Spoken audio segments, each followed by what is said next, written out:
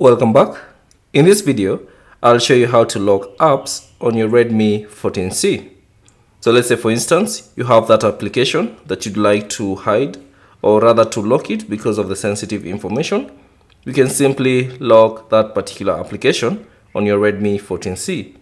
Now to lock applications, all you have to do is open the settings and then within the settings, scroll down and select apps. Now within the app settings, tap on this option, app lock, and then you should see this brief description, protect your privacy with app lock. All you have to do is select turn on, and then you have to create a pin, password, or pattern for that particular app lock. Now you can simply draw your pattern if you'd like to use a pattern, or if you want to change the password type, if you'd like to use a pin or password, simply tap on change password and then from the options that appear, you can either choose pin, password or pattern and choose the option that you prefer. So if you want a pin, select the pin and then create a pin for that particular app lock.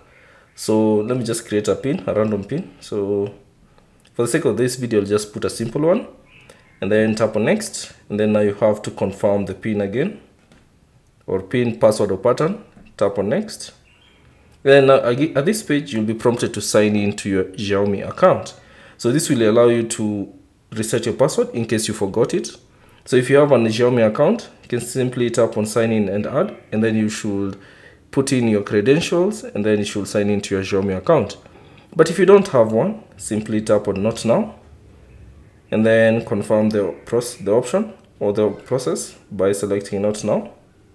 And then you should see all the applications that are currently protected with AppLock. So there's the gallery, Facebook, file manager, and the rest.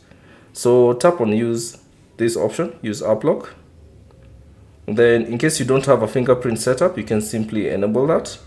So add your fingerprint first, tap on open settings. So I'll just do that later. And then there you go.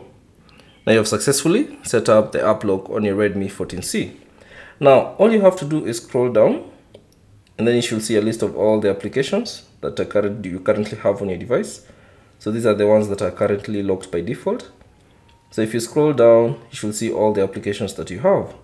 So let's say for instance, if you don't want anyone to open this application, Mi Mover, all you have to do, or rather if you want to lock this application, sorry, the Mi Mover application, tap on the toggle switch icon and you should see the Mi Mover application has been set to the apps that have been locked. So you can repeat the same process with all the other applications. So let's say Gmail, music, uh, Google Drive, and Maps, and also Netflix, TikTok, and all the other applications that you'd like to use.